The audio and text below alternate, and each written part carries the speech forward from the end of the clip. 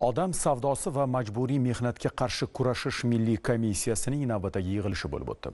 O'zbekiston respublikasi oliy majlisi senati hamda milliy komissiya raisi olib borgan majlisda odam savdosi va majburiy mehnatga qarshi kurashish borasida 2021 yilning birinchi yarmida amalga oshirilgan ishlar ko'rilgan choralar hamda ushbu yo'nalishda hali o'z yechimini kutayotgan masalalar muhokama qilindi.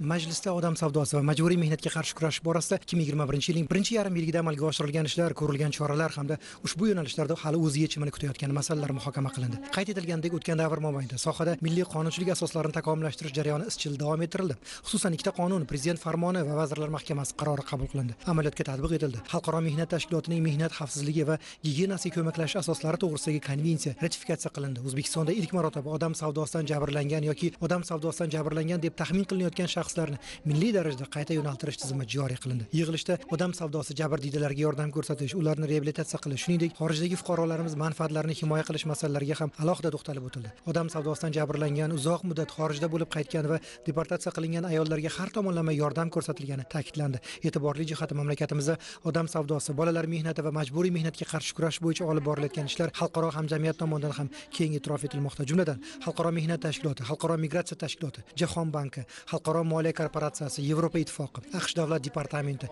mehnat vazirligi ushbu yo'nalishdagi sa'y harakatlarni munosib baholamoqda.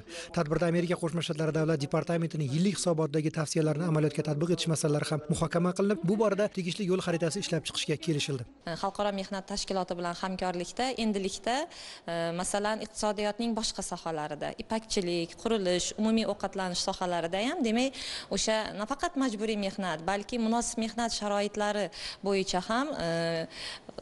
o'rganish tadqiqot olib borish rejalashtirilgan. Bu borada demak o'sha hamkor tashkilotlar bilan buni qanaqa olib borish bo'yicha metodologiyasi ishlab chiqilgan va masalan o'sha o'rganishlarni ham biza demak sentyabr oyidan boshlash rejalashtirilgan. Shuningdek yig'ilishda odam savdosi va majburiy mehnatga qarshi kurashish bo'yicha o'z yechimini kutayotgan masalalarga e'tibor qaratildi.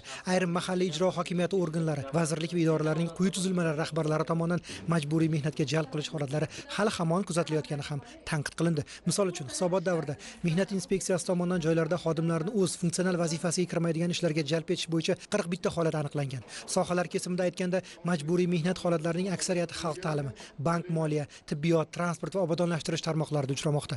Yig'ilishda joriy yilgi paxta yig'im terim mavsumida majburiy mehnatga yo'l qo'ymaslik mehnat munosabatlarini to'g'ri rasmiylashtirish terimchilar uchun munosib mehnat va dam olish sharoitlarini yaratish borasida amalga oshirilishi lozim bo'lgan masalalar ham muhokama qilindi. Bugungi kunda fuqarolarimiz tomonidan odam savdosi yoki majburiy mehnat mehnatga e, jalb qilinganlik bo'yicha e, murojaatlar ichki ishlar vazirligidagi e, dolzarb aloqa tarmog'i yo'lga qo'yilgan bizda. to'qson to'qqizlik uch yuz o'n bir nol bir nol bir raqamiga murojaat qilishlari mumkin. Bu raqamda o'sha har qanday ijtimoiy tarmoqlar ham ularga ulangan o'sha telegram whatsapp yoki boshqa ijtimoiy tarmoqlar orqali ulanib bunga murojaat qilishlari mumkin. O'z navbatida joylarda odam savdosi va majburiy mehnatga qarshi kurash borasida amalga oshirilayotgan ishlar bo'yicha hududiy komissiyalar hisobotlari eshitildi. Kun tartibida muhokama qilingan masalalar yuzasidan milliy komissiyaning tegishli qarori qabul qilinib kelgusidagi vazifalar belgilab olindi.